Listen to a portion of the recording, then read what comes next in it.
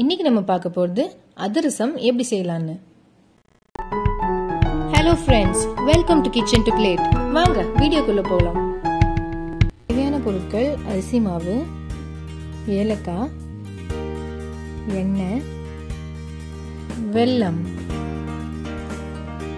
ஒரு கடாயை சூடு பண்ணிக்கோங்க. அதில் எழுபத்தஞ்சு கிராம் உடைச்ச வெள்ளத்தை சேர்த்துக்கோங்க. ரெண்டு ஏலக்காய் விதையை இதில் சேர்த்து கொஞ்சம் தண்ணி சேர்த்து அந்த வெல்லம் உருகிற வரைக்கும் அதை மிக்ஸ் பண்ணிக்கோங்க. வெல்லம் நல்லா உருகி ஒரு கம்பி பதம் வர வரைக்கும் அதை சூடு பண்ணிக்கோங்க. வெள்ளைப்பாகு ரொம்ப கட்டியாகக்கூடாது. கொஞ்சம் போரிங் கன்சிஸ்டன்சியில் இருக்கணும். ஒரு பவுலில் நூற்றம்பது கிராம் அரிசி மாவு எடுத்துக்கோங்க. அதில் இந்த பாகை கொஞ்சம் கொஞ்சமாக சூட்டோடு சேர்த்து மிக்ஸ் பண்ணிகிட்டே இருங்க. ஸ்பூன் வச்சு. இப்போது ஒரு எலையோ பிளாஸ்டிக் கவரோ எடுத்து அந்த மாவுலேருந்து ஒரு பகுதியை எடுத்து அதை அழுத்தம் கொடுக்காம கொஞ்சம் ஃப்ளாட்டாக சர்க்கிளாக தட்டிக்கோங்க. சூடான எண்ணெயில் இதை போட்டு பொறிச்சு எடுத்துருங்க.